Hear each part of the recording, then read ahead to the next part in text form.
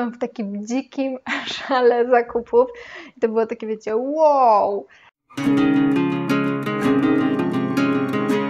Cześć kochani! Słuchajcie, właśnie kilka dni temu wróciłam z wycieczki do USA. Kupiłam sobie kilka fajnych rzeczy i tak pomyślałam sobie, że Wam pokażę, co takiego fajnego sobie przywiozłam. Pomyślałam sobie, że od razu tak krótko i szybko e, powiem Wam o tym, jak się zmieniło na przestrzeni ostatnich dwóch, trzech lat moje e, podejście do kupowania, moje podejście do takich e, wegańskich zakupów za granicą.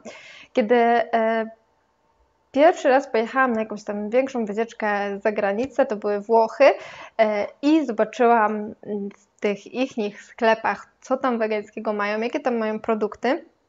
E, to po prostu byłam w takim dzikim szale zakupów. I to było takie, wiecie, wow! Wtedy, no, te trzy lata temu w Polsce jeszcze nie było aż tak super, jak jest e, teraz, więc ja po prostu w tym szale zakupów się na to wszystko rzuciłam.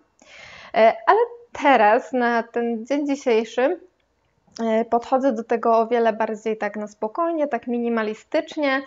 Też wielu produktów już e, próbowałam i raczej te moje zakupy są takie dość no, skromne.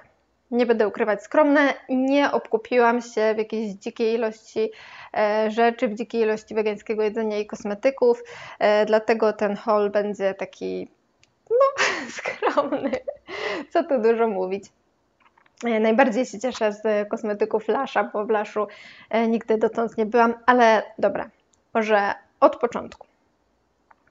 Co takiego kupiłam sobie w Stanach? Pierwsza rzecz, o której muszę Wam powiedzieć, to był zakup bardzo nieplanowany i w sumie trochę przypadkowy, e, a mianowicie były to buty Adidasy Skechersa.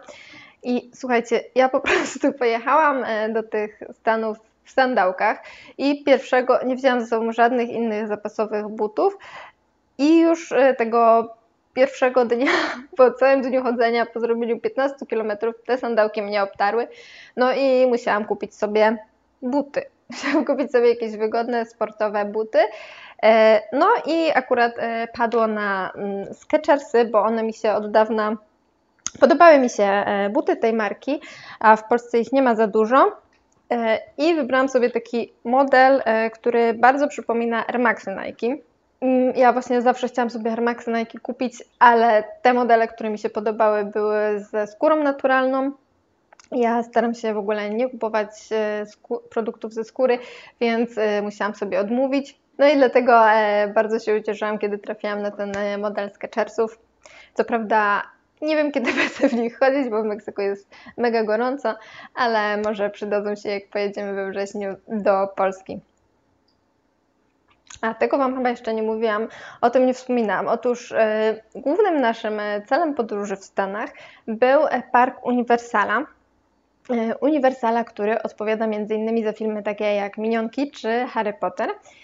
I ja jako zapalona, dzika fanka i Harry'ego Pottera i Minionków. Oczywiście musiałam sobie coś, musiałam sobie coś e, tematycznego, jakieś tematyczne gadżety, pierdółki e, przywieźć i rzeczą, którą najbardziej się jaram jest, słuchajcie, różdżka. I to jest, to jest naprawdę najprawdziwsza różdżka i przyrzekam Wam, że ona działa. Zaraz Wam tutaj wrzucę film, jak e, czaruję na ulicy Pokątnej.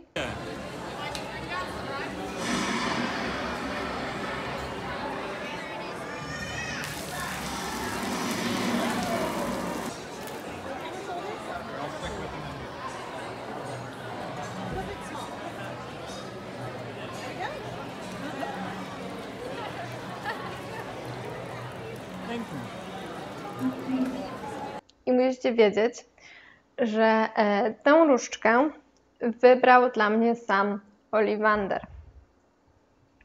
Tak, wrzucam tutaj zdjęcie na dowód. No i tak jak Wam powiedziałam, uwielbiam również e, minionki, więc przywiozłam sobie e, dwie takie dość śmieszne minionkowe rzeczy. Pierwsza to jest czapka, tak zwana ją czapka. No musicie przyznać, że jest bardzo elegancka. A druga to jest coś absolutnie prześmiesznego. To jest ubranko dla, dla kota, ubranko dla pingwina, e, przebranie minionka, ale podejrzewam, że nigdy nam się nie udaje w to przebrać. Raz próbowaliśmy i nie wyszło. Ale musicie przyznać, że to jest przeurocze. No dobra, powiedziałam na samym początku e, o kosmetykach Lasha. E, to była dla mnie największa radocha, że w końcu udam się do tego osławionego Lasha i tam pobuszuję i coś sobie fajnego kupię. E, no i faktycznie przywiozłam sobie taką już dość zmaltretowaną torbę kosmetyków. I muszę Wam powiedzieć, że przez te kosmetyki e, zatrzymali nas e, na lotnisku i Pan takim specjalnym papierkiem sprawdzał mi tutaj wszystko w tej torbie, czy, czy to przypadkiem nie są narkotyki. Pierwszą, e, najważniejszą rzeczą, którą bardzo sobie chciałam w Laszu kupić, są szampony w kostce. Ja w ogóle staram się teraz łazienkę bardzo ograniczyć pod względem plastiku i bardziej używać takich do takich zero waste produktów i niestety tutaj w Meksyku w ogóle nie znalazłam dotąd e, szamponów w kostce, więc wiedziałam, że kupię je sobie e, w laszu. Wybrałam takie, takie dwa i wybrałam je po jedynie po zapachu. Pewnie e, ktoś mnie zaraz skarci, że, że to trzeba po składzie wybierać, ale a, dokupiłam i do tych e, szamponów dokupiłam sobie jeszcze taką e, puszeczkę, którą można zabierać na wyjazdy jako opakowanie dla tego szamponu, żeby on gdzieś tam luzem nie, nie latał. Kupiłam sobie jeszcze taki ciekawy płatek kosmetyczny, e, który podejrzewam, że może się rozpuścić, bo jest zrobiony z takiej jakiejś dziwnej substancji. Pachnie fajnie i on e, ma służyć podobno, z tego co wyczytałam, e, do zmywania makijażu. E, po prostu namacza się go lekko po jednej stronie i, i oczyszcza nim sobie buzię. No, zobaczymy jak to zadziała. Akurat niedawno wyrzuciłam moją już bardzo staraną życiem rękawicę Glove do, do demakijażu jedynie z użyciem wody, więc, więc taki płatek mam nadzieję, że się fajnie sprawdzi. To jest coś, co e, jeszcze mi polecaliście na Instagramie, kiedy pytałam, co kupić sobie w laszu.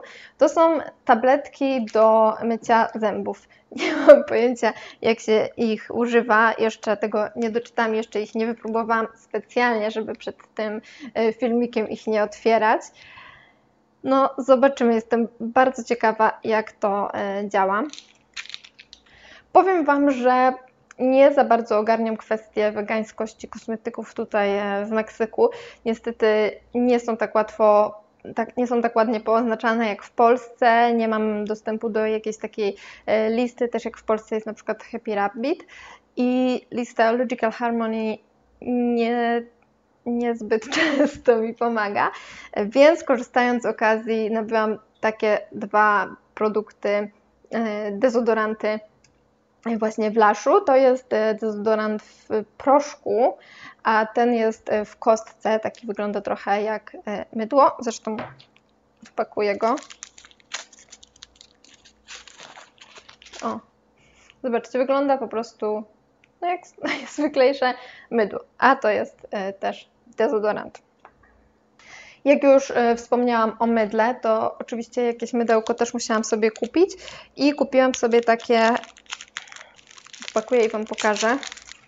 No może z wyglądu niezbyt e, piękne, to jest oczywiście mydło na wagę, ale przysięgam Wam, że pachnie przepięknie i przypomina mi w zapachu któreś mydło od dziewcząt z Soap Shopa, nie przypomnę teraz, które dokładnie, ale zapach ma naprawdę obłędny. Pozostając jeszcze w temacie mydeł, to kupiłam sobie również e, takie mydło do mycia twarzy. I tutaj możecie zobaczyć pozostałości e, balsamu. Kupiłam też taki e, maciupeńki balsam w kostce i one niestety podczas całego dnia noszenia tych produktów w plecaku się cały, jak widać, rozpłyną.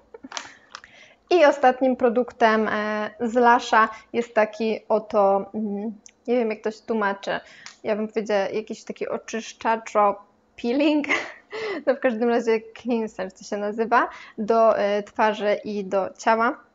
Miał przepiękny zapach, więc to mnie też e, właśnie skusiło. Również go jeszcze nie otwierałam, ale myślę, że po nagraniu tego filmiku zaraz te wszystkie produkty przetestuję. Może Wam później na Instagramie dam znać, e, jak to się wszystko sprawdziło, a może nagram osobny filmik. Zobaczymy. No i jeżeli chodzi o produkty kupione w Laszu, to jest e, tyle. Powiem Wam, że trochę się tam e, hamowałam przy tych zakupach, bo przeliczałam sobie to wszystko na złotówki, a i tak trochę, trochę popłynęłam tam z kasą. Już cholera jasna, mama do mnie dzwoni. No i na koniec zostawiłam sobie jeszcze produkty spożywcze, które kupiliśmy w Whole Foods. Właśnie o wizycie w Whole Foods też od razu myślałam, kiedy wybieraliśmy się do Stanów, bo e, czytałam na Veg News, że tam jest całkiem sporo fajnych wegańskich produktów, że ten sklep ma naprawdę spoko ofertę pod tym względem. Dlatego oczywiście zajrzeliśmy. E, no i faktycznie oferta jest e, super. Mają w ogóle e, osobną lodówkę na lody wegańskie, osobną na mm, wegańskie, na wegański nabiał i też osobną na wegańskie niby mięsa, więc to jest mega spoko. Ja kupiłam tam jedynie tak naprawdę kilka produktów, bo wiele z nich już próbowałam, a część po prostu była logistycznie niemożliwa do zabrania, bo najchętniej wzięłabym całą tą lodówkę lodów, ale no rozpłynęłyby się. Mm, I z takich produktów e, wegańskich, które tam kupiłam, a które na pewno wiem, że są e, w Polsce, to są te dwa sery Violife. Ten ser to jest ser taki ala feta. Ja go w Polsce, odkąd go poznałam, to go często kupowałam. Jest absolutnie przepyszny. Bardzo Wam go polecam. Jak tylko go znajdziecie, to od razu bierzcie bez zastanowienia. Nawet jeżeli nie lubicie y, takiego klasycznego sera feta. Ja na przykład nie lubiłam, ale ta kokosowa feta to jest po prostu niebo w gębie. Y, I kupiłam jeszcze taki y, parmezan z BioLife. On też wiem, że był w Urban Vegan chociażby, i sporo osób go zachwalało, a ja go jeszcze chyba nie miałam okazji spróbować, więc spróbujemy. Powiem Wam w ogóle, że ja to jestem właśnie takim serożercą, bo chyba z takich stricte wegańskich alternatyw, z takich produktów wegańskich alternatywnych dla, dla zwykłych, nie wegańskich, to właśnie chyba serów mamy w domu e, najwięcej. Wydaje mi się, że teraz mamy chyba z 4 czy 5 w lodówce. Także Myślę, że szykuje się pizza. Z takich w Whole Foodsie kupiliśmy jeszcze gumę Guar. Słuchajcie, może to nie jest taki typowy wegański produkt, który e, się kupuje do swojej domowej e, spiżarki, ale my akurat kupiliśmy, bo Kajtek jest na diecie ketogenicznej i, i to się naprawdę e, przyda. Jeszcze z tym nic nie robiłam, więc zobaczymy ale widziałam w jakichś filmikach, że, że jest to używane w, w jakichś chyba mącznych takich, czy pseudomącznych daniach. Także no, spróbuję. Z takich ciekawszych produktów kupiliśmy też y, vegan jerky, czyli coś ala suszona wołowina chyba, wołowina, wieprzowina. W każdym razie jest coś takiego suszonego, jakieś takie suszone mięso. Ono chyba w Polsce nie jest takie bardzo popularne, ale ja je znam na pewno z książek e, czy z filmów. E, I kupiliśmy sobie właśnie tą, e, to wegański odpowiednik o smaku takiego niby słodkiego bekonu. Jestem bardzo ciekawa, jak to smakuje, ale powiem Wam, że jestem sceptycznie nastawiona. Może spróbuję. No pachnie jak pachnie tak jak mój yy, bekon z tofu, więc może będzie dobre.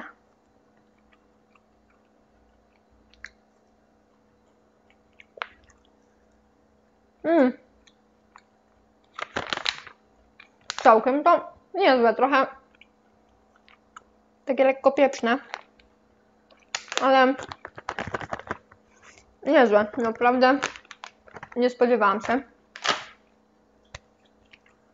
A, słuchajcie, i na koniec e, zostawiłam sobie oczywiście to, co przywożę sobie z każdej podróży, gdziekolwiek bym nie pojechała, czyli słodkości. Nie jest tego jakoś dużo, bo to jest jedynie 6 produktów i to takich dość, powiedziałabym, standardowych, e, ale zawsze coś trzeba nowego spróbować. E, pierwsza rzecz, jak widać już otwarta i została mi tylko ostatnia czekoladka tutaj, bo nie mogłam się doczekać, aż to zjem. E, to są takie peanut butter cups.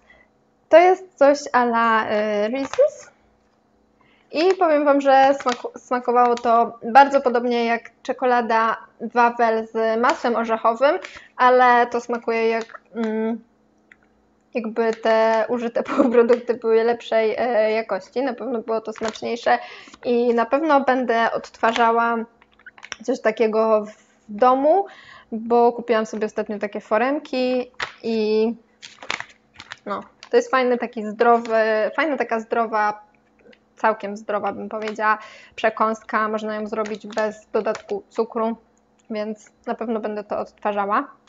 Jeżeli chodzi jeszcze właśnie o takie, takie czekoladki, to kupiliśmy też dla Kajtka Keto Cups, czyli też takie czekoladki, ale one są z jakimś chyba masłem kokosowym czy czymś takim. No jak widać też już otwarte, Kajtek nie mógł się doczekać, próbował i powiedział, że średnie. No i oczywiście E, naczelny czokaholik świata e, nie mógł nie kupić e, czekolady. Tutaj wzięłam sobie taką gorzką. Słuchajcie, nawet nie szukałam nawet żadnej słodkiej czekolady, bo staram się teraz mocno ograniczać cukier, więc kupiłam sobie gorzką czekoladę z solonymi migdałami. Do tego to chyba im zostało z wielkanocnej promocji, bo było przecenione, e, króliczek z gorzkiej czekolady. No, z radością odgryzam głowę. Jeszcze na koniec e, zostały mi dwa batoniki. Te batony Cliff to wydaje mi się, że są w Polsce. Chyba widziałam je w Urban Vegan i jakiś taki e, Lara, Lara Bar. To jest taki dość zwykły, klasyczny, daktylowo-orzechowy batonik Pewnie coś w stylu, w stylu dobra, dobrej, dobrej kalorii. No spróbuję to, zobaczę. A, ten w ogóle Wam nie powiedziałam, że to jest yy, czekoladowo-miętowy. Uwielbiam połączenie czekolady i smaku miętowego, więc mam nadzieję, że to będzie dobre. No dobra, słuchajcie, yy, to tyle. Jak widać, nie ma tych zakupów jakoś yy, super dużo, ale tak się chciałam pochwalić. Dajcie znać, czy może próbowaliście już któregoś z tych produktów jak wypadł, a jeżeli nie próbowaliście, to którego najchętniej byście skosztowali, albo który byście najchętniej wypróbowali, jeżeli, jeżeli to będzie kosmetyk. No i tyle na dziś. Pamiętajcie, że jeżeli ten filmik się Wam podobał, e, to zostawiajcie mi e, łapkę w górę i subskrybujcie kanał, jeżeli lubicie wegańskie treści. No.